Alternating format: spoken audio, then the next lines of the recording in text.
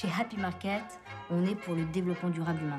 Alors j'ai de tout, hein. j'ai de la dépressive, euh, j'ai de l'handicapé moteur, mental, euh, des deux aussi. Mais vous êtes ma première taularde. Oh, un petit instant. L'Alsace est à l'honneur cette semaine chez Happy Market et nous avons avec nous une invitée exceptionnelle, Muriel Robin.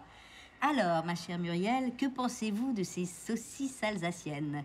Eh ben, eh, elles sont succulentes, euh, pur pas. euh, J'en prendrais bien 3 tonnes. Non,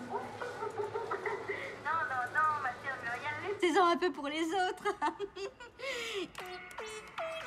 Je sais faire aussi Cordy. Ouais, ça fait des économies. Hein.